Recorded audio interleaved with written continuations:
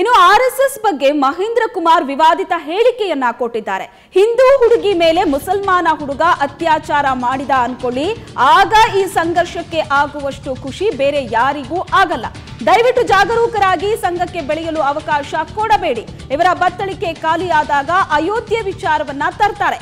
ಮಂಗಳೂರಿನ ಪ್ರಗತಿಪರರ ಜನನುಡಿ ಕಾರ್ಯಕ್ರಮದಲ್ಲಿ ಈ ರೀತಿಯಾಗಿ ವಿವಾದಿತ ಹೇಳಿಕೆಯನ್ನ ಕೊಟ್ಟಿದ್ದಾರೆ. ಬಜರಂಗ ದಳದ ಮಾಜಿ ಮುಖಂಡರಾಗಿರುವಂತಹ ಮಹೇಂದ್ರ ಕುಮಾರ್. ಕೊಟ್ಟಿರುವಂತಹ ಹೇಳಿಕೆ ಇದು. ಈ ಹೇಳಿಕೆ ಈಗ ಸಾಕಷ್ಟು ವಿವಾದವನ್ನ ಕೂಡ ಹುಟ್ಟು ಹಾಕ್ತಾ ಇದೆ.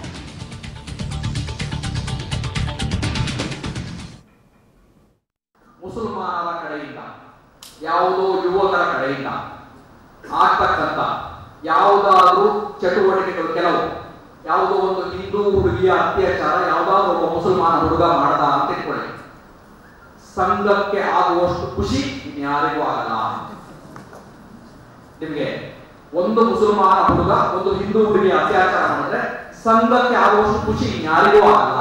ಯಾಕೆ ಅಂದ್ರೆ ಸಂಘ ಅಲ್ಲಿಯೇ ಬೆಳೆ ಬೆಳೆಯೋದು, ಸಂಘ ಅಲ್ಲಿಯೇ ಊಟೆ ಮಾಡೋದು, ಅಲ್ಲಿಯೇ ನಟ್ಟಿ ನೆಡೋದು ಸಂಘ. ಒಬ್ಬ ಮುಸಲ್ಮಾನ ಹುಡುಗ ಇನ್ನೊಂದೇನೋ ಆಯ್ತು ತಪ್ಪುಗಳಾಯ್ತು ಸಂಘ ಇದನ್ನೇ ಕಾಯತ್ತೆ. ಸಂಘಕ್ಕೆ ಬೇಕಾಗಿರೋದೇ ಇದು. ಈ ಬಗ್ಗೆ ಹೆಚ್ಚಿನ ಡೀಟೇಲ್ಸ್ ಅನ್ನ ಕೊಡ್ತಾರೆ ನಮ್ಮ ಪ್ರತಿನಿಧಿ ಭರತ್. ಭರತ್, ಮಹೇಂದ್ರ ಕುಮಾರ್ ಅವರ ಈ ಹೇಳಿಕೆಗೆ ಕಾರಣ ಏನು? ಹಾಗಾದ್ರೆ ಈ ಹೇಳಿಕೆ ಯಾವ ಒಂದು ಸಂದರ್ಭದಲ್ಲಿ ಹೇಳಿದ್ದಾರೆ ಅವರು?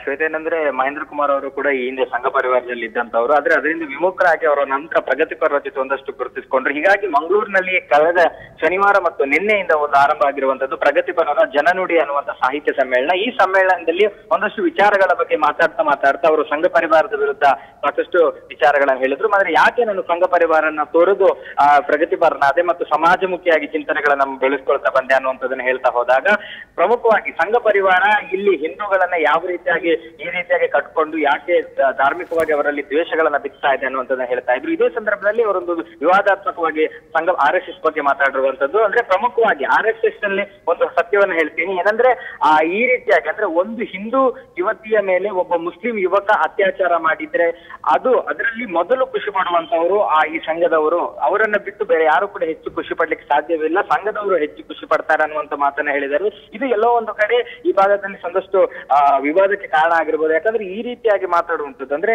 ಆ ಒಂದು ಅತ್ಯಾಚಾರದ ಸಂದರ್ಭಗಳಲ್ಲಿ ಸಂಘ ಪರಿವಾರದಲ್ಲಿ ಹೆಚ್ಚಾಗಿ ಖುಷಿ ಪಡುತ್ತೆ ಅನ್ನುವಂಥದ್ದು ಸಾಕಷ್ಟು ಈಗ ಸೋಷಿಯಲ್ ಮೀಡಿಯಾಗಳಲ್ಲಿ ಚರ್ಚೆ ಆಗ್ತಾ ಇದೆ.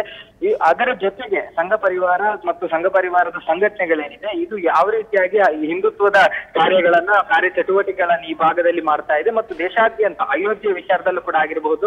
ಚುನಾವಣೆ ಬರ್ತಕ್ಕಂಥ ಸಂದರ್ಭದಲ್ಲಿ ಅಯೋಧ್ಯೆ ವಿಚಾರವನ್ನು ಎಳೆದು ತಂದು ಮತ್ತೆ ಅದರಲ್ಲಿ, ಅಂದ್ರೆ ಅಲ್ಲಿ ರಾಮನ ಮಂದಿರವನ್ನ ಕಟ್ಟಲಿಕ್ಕೆ ಯಾರ ವಿರೋಧ ಇಲ್ಲದೆ ಇದ್ರೂ ಕೂಡ ಚುನಾವಣೆಯನ್ನ ಗಮನದಲ್ಲಿಟ್ಟುಕೊಂಡು ಮತ್ತೆ ಮತ್ತೆ ಅದನ್ನ ಕೆದಕುವಂತ ಪ್ರಯತ್ನವನ್ನ ಸಂಘ ಮತ್ತು ಪರಿವಾರ ಸಂಘಟನೆಗಳು ಮಾಡ್ತಾ ಇದೆ ಅನ್ನುವಂಥದ್ದನ್ನ ಅವರು ತಮ್ಮ ಉಡೀ ಭಾಷಣದುದ್ದಕ್ಕೂ ಸುಮಾರು ಒಂದು ನಲವತ್ತೈದು ನಿಮಿಷಗಳ ಕಾಲ ಏನೋ ಒಂದು ಭಾಷಣವನ್ನು ಮಾಡಿದ್ರೆ. ಆ ಭಾಷಣದುದ್ದಕ್ಕೂ ಸಂಘ ಪರಿವಾರದ ವಿರುದ್ಧವಾಗಿ ಅವರು ಮಾತಾಡಿರುವಂತದ್ದು ಥ್ಯಾಂಕ್ ಯು ಭರತ್ ರಾಜ್